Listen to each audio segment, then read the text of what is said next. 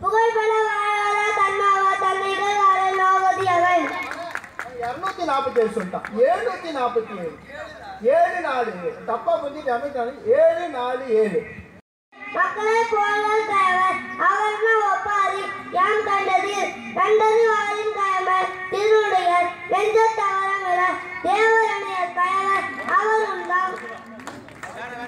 வேற யாராவது பண்புடைமை. நூறு பண்புடைமை என்பகத்தால் எய்தல் எளிதென்ப யார் மாட்டும் பண்புடைமை என்னும் வளர்த்து சொல்லுங்க யாராவது இருக்கா? சீக்கிரம்.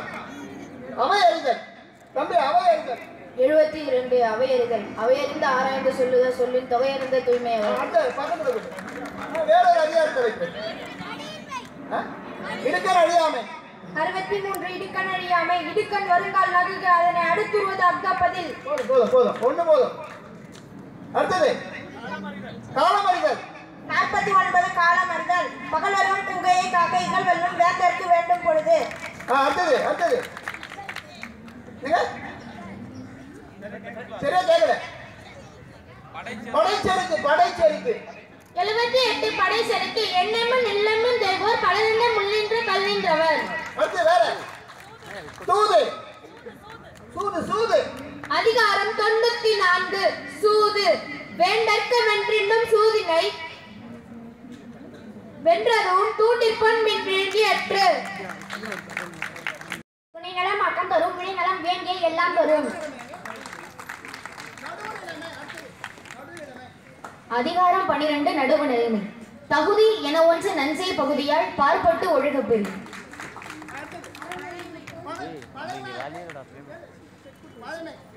எண்பத்தி ஒன்று பழமை. பழமை எனப்படுவது யாதனி யாதொன்றும் இளமையை கீண்டிதான் நட்பு. கூடா நட்பு. சீடம் கண் எழுதற்கப்பட்டனை நேரா நிறைந்தவர் நட்பு. அதிகாரம் பதினைந்து பிறனில் விளையாமை. பிறன் பொருளால் பெற்றொழுகும் பேதைமை ஞாலத்தாரம் பொருள் கண்டார்கண்கள் அதிகாரம் அறுபத்தி ஒன்று மடியின்மை. குடி எண்ணும் குன்றா விளக்கம் மடி என்று மாசூரம் ஆய்ந்து கெடும்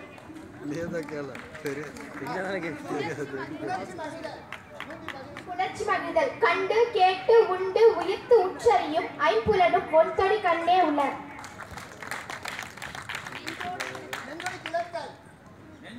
அதிகாரம் நூத்தி இருபத்தி ஐந்து. நெஞ்சொடி கிளத்தல். நினைத்தொன்று சொல்லாயோ நெஞ்சே எனைத்தொன்று எவ்வளோ தீர்க்கும் மருந்து.